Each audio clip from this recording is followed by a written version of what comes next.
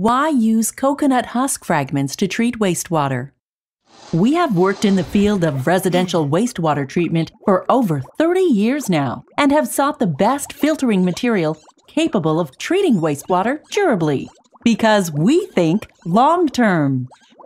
After having tested a wide variety of materials, too hard, not porous enough, not spongy enough, too stringy, we finally found the ideal material coconut husk fragments.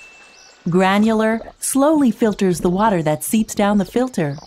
Porous to trap the bacteria that are essential for an effective treatment. Spongy to keep these bacteria active for longer periods, retain the water, and provide for perfect operation specifically for secondary residences. Resistant to compacting to allow for air circulation, bacterial feeding, and durability plant-based and renewable for easy collection, transportation, recycling, and composting. And this filtering material, used with equipment that is the fruit of more than 30 years of research and development, enables you to maintain a highly effective treatment system for years to come to protect your health and the environment.